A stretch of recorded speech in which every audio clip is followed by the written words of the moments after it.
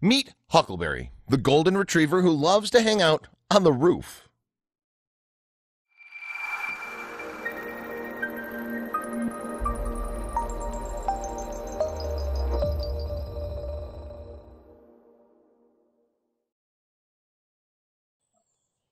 Dogs make great pets. They're smart, loyal, and totally playful. When you bring a dog into your home, you aren't just adopting a pet, you're making a friend for life. However, dogs can also be little bit strange. Just like humans, sometimes dogs can do things that are a little bit left of center that will leave you scratching your head. Huckleberry the Golden Retriever is adored by his human owners, but that doesn't mean he's totally perfect. When you see the wacky habit this dog's developed, you won't be able to stop laughing. Huckleberry the dog is just your average, adorable golden retriever. He's curious, playful, and loves a good nap in the afternoon, cuddled up in his favorite sunny spot. That said, there's something about Huckleberry that's a little, well, weird. Huckleberry loves hanging out on the roof of his house. That's right, this massive dog has figured out a way to get onto the roof, and it's quite the sight to behold. Huckleberry's antics had the neighborhood in an uproar.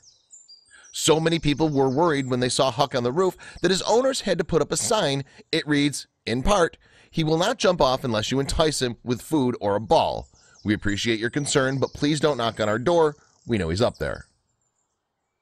The owners also encouraged people passing by to take photographs of Huckleberry and share them on social media using the hashtag Huckleberry the Roof Dog. People took them up on their suggestion, and the pictures have started pouring into Instagram.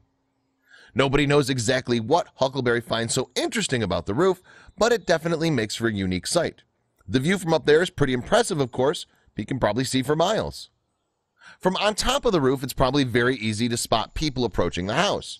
You can tell this by his focused gaze that Huckleberry is one good, if eccentric, guard dog. Good thing he knows how to get down. Can you imagine going for an afternoon stroll and spotting this dog on the roof? Most people would probably go right into full panic mode.